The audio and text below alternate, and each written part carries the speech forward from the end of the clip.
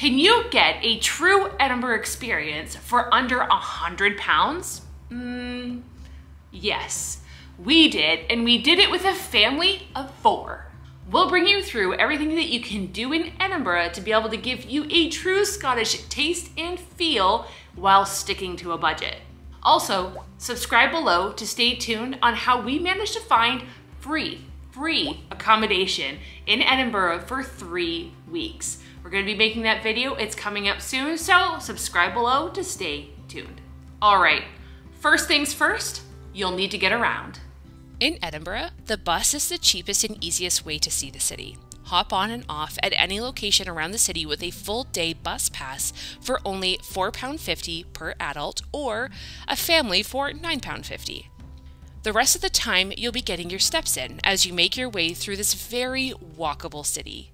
With cobblestone lined streets with old stone buildings to the Water of Leith path that spans the city, you'll also want to take in the views by foot. Starting with the downtown core, most popular being the Royal Mile and Old Town. This stretch of street is lined with fun shops and great pubs. It's also home of many famous red phone booths, perfect for grabbing a selfie, and to have a listen to live music played by Scotland's bagpipers. Of course, the Royal Mile leads up to the Edinburgh Castle, but this isn't where you'll want to take in a good view of this stunning castle. That would be in Grassmarket, a location down the hill not a far walk from the Royal Mile. Getting into the castle costs a pretty pence for a family to view the interiors, so this may be out of budget. For us, we got the ticket for free as we had signed up previously for the Historic Scotland membership, which gives you access to over 70 castles across Scotland for the price of two. The pubs in this part of town are on the pricey side too, so we suggest saving your pounds for a later time. But I promise, just taking in the countless pub facades will give you all the Scottish pub feels. If you pop into New Town, just beside Old Town Edinburgh, then you will see even more fun pubs, some with pretty interesting names. While you're downtown, you'll absolutely have to pop into the National Museum of Scotland. Now, I'm not really always one of the people who love museums, but not only did we have tons of fun, I truly can't believe that this is also free. That's right, this interactive museum has Scottish and world history exhibits, but it also has interactive science and technology and animal kingdom exhibits, and it's all 100% free.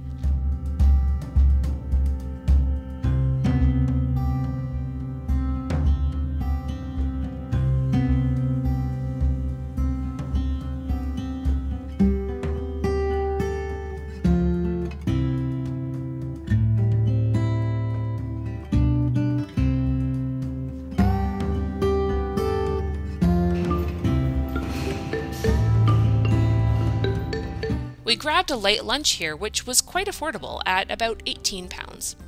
Actually, Scotland offers free entry into most of their museums and galleries, including the National Gallery of Scotland, where you can view art by famous artists like Matisse, Degas, Monet, and Van Gogh. Another free site to see downtown Edinburgh is St. Giles Cathedral, the official cathedral for the Knights of the Order of the Thistle. This beautiful site is along the Royal Mile and is super easy to access.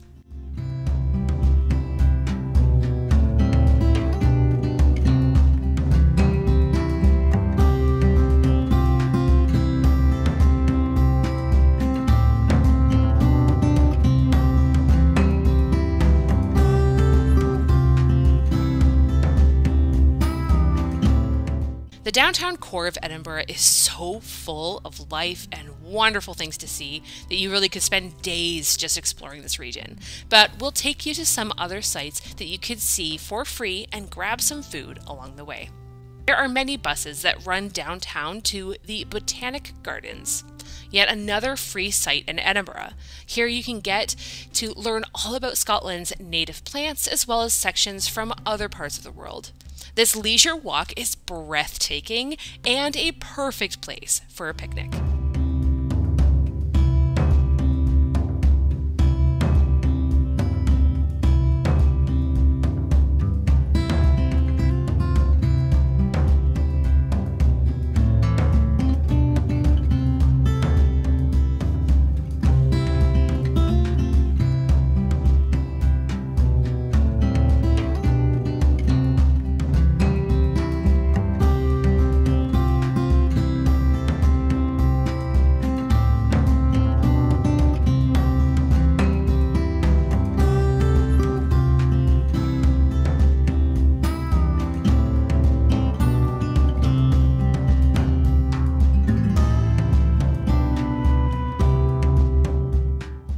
Aside from the Old Town and Royal Mile, two of the more picturesque locations in Edinburgh are Dean Village and Leith.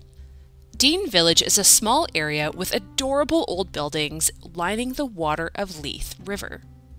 Technically, you could walk the water of Leith from here to Leith itself, where the river merges with the sea, but that would take about an hour. Instead, enjoy the views around the village and take a short walk along the river before popping back on the bus to head toward Leith.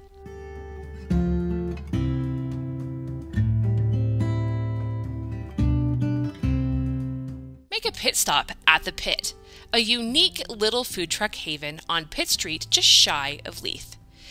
This side street establishment houses multiple food trucks and has a sit in location where you can share tables with people and dogs alike. Many pubs and restaurants are dog friendly, and this is no exception. We all got to order something delicious from any of the food trucks. The prices are a few pounds cheaper than a typical pub for each meal.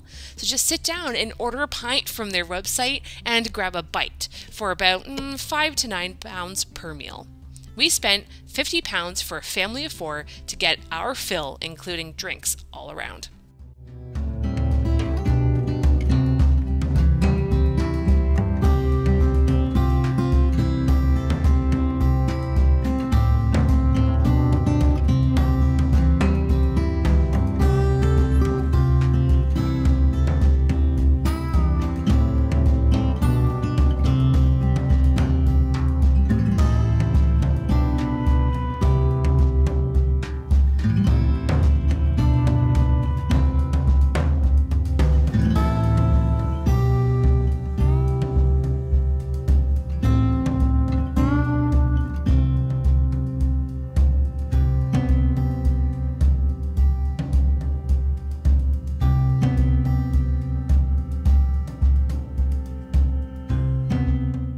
From the Pitt, you can walk along the water of Leith again until you reach Leith, the port district of Edinburgh. This harbour town is filled with old factories converted into apartments, as well as ships and boats to view on the inlet off the North Sea. This area of Edinburgh played a big part in World War II and has tons of history to explore.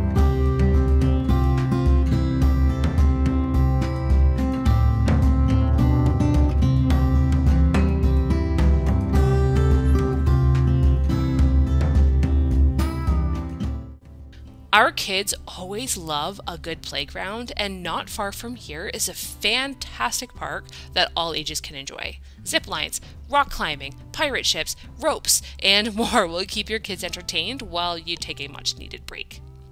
As you can see, this city is full of amazing things to see and do for free for the whole family.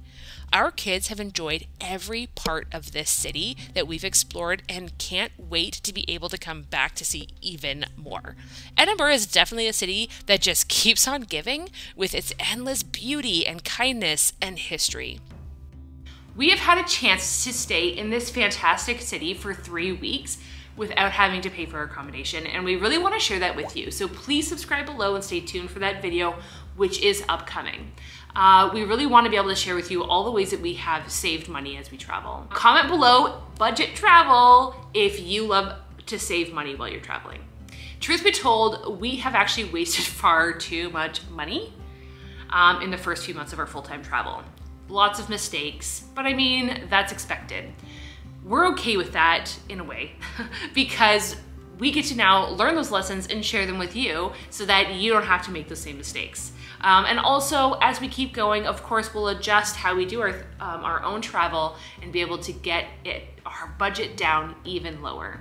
We have actually put together our first income and expense report for you so that you could see what it really costs to be able to travel as a family full time. Um, included in that is our five most costly mistakes um, and lessons learned from that. So you can find that in the description below. Sign up for that. We are going to be making income and expense reports once a month. Um, to be able to keep you up to date on those things. We think that it's really good to be transparent about what it actually costs. I know that lots of people have that question of how do you do it, how much does it cost to be able to do uh, full-time travel, and that's really what these uh, monthly newsletters are going to be about. It's about helping you learn those things about how you can do it and how much it truly costs, um, and also again the lessons learned to be able to make it more affordable for you and for us. So find that in that report down below. And once our video on the free accommodation in Edinburgh is uh, made and up, we will be putting it right here for you. So hopefully it's there already. um, if not, subscribe below. Stay tuned for that. And thank you for joining us every further mile.